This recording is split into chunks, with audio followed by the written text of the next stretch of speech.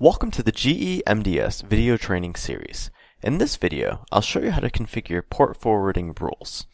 The Orbit MCR4G has a public side and a private side.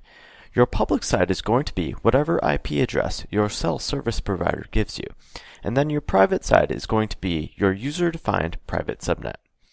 An example need for port forwarding is such. Your Orbit MCR4G has Modbus PLCs connected to it via the Ethernet ports. You need to get into its cell connection and pull these units. You need to be able to get from the public side to the private side, much like with your home router if you wanted to get into your router from outside. This is where port forwarding rules come into effect. In this video, I'll use the system pictured here to set up a port forward rule to pull the remote host. The Orbit MCR4G has a public IP address assigned from the cell network of 166.130.200.143 and a private IP of 192.168.1.1. The remote host off the Orbit MCR4G's Ethernet port has an IP address of 192.168.1.22. Listening for pull requests on port 502. To create the port forward rule, two sets of criteria are needed. The first is the match criteria, or what the orbit will filter for to determine if an incoming data packet should be forwarded. It will check for correct IP addresses, ports, and protocol.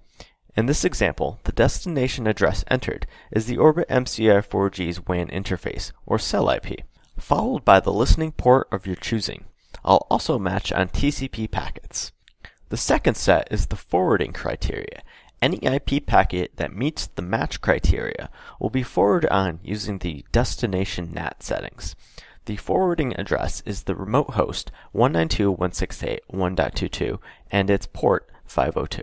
To configure this on the web, log in as admin and click Services on the left-hand side, then Firewall and Basic Config.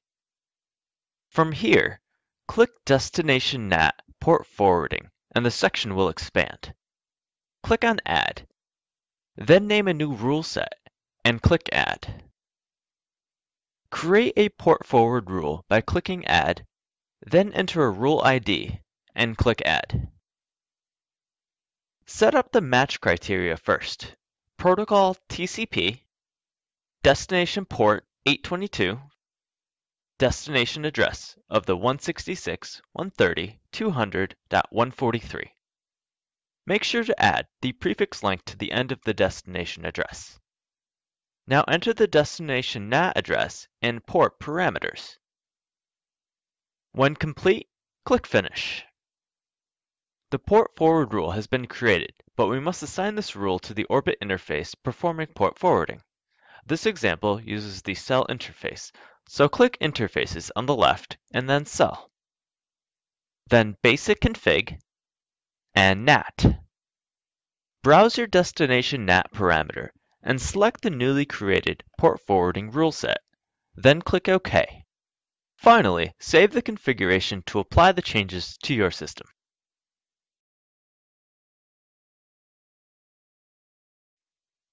To configure port forwarding using the Web Interface Wizard, log in as admin and click Wizards on the left-hand side. Then click Port Forwarding Displayed is some general info. Click on Next. Click Add to create a new rule set, then the name of the rule set in the dialog. Do not use spaces in your name. Click OK. Click Add New Rule, then select the appropriate protocol, and fill out the incoming IP and port fields.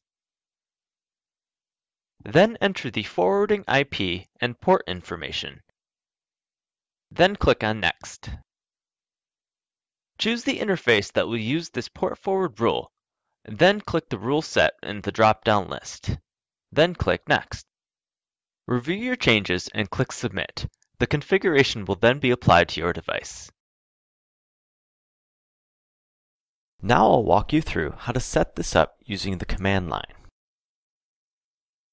Log into the device as admin and enter configuration mode. The first set of information to configure is the match criteria. For this rule set, we'll create rule number one.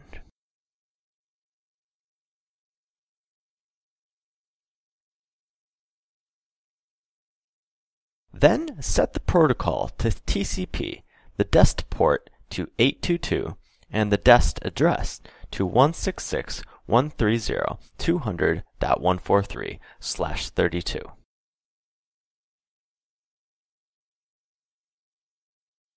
Press enter and the system will prompt you to enter the first part of the destination NAT criteria, the IP address to forward to.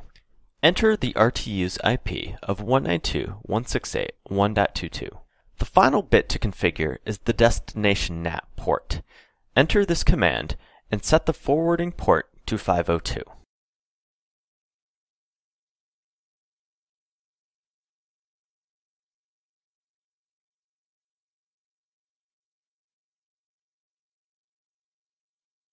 Now, to verify everything is set up correctly, I issued a show command on the NAT rules.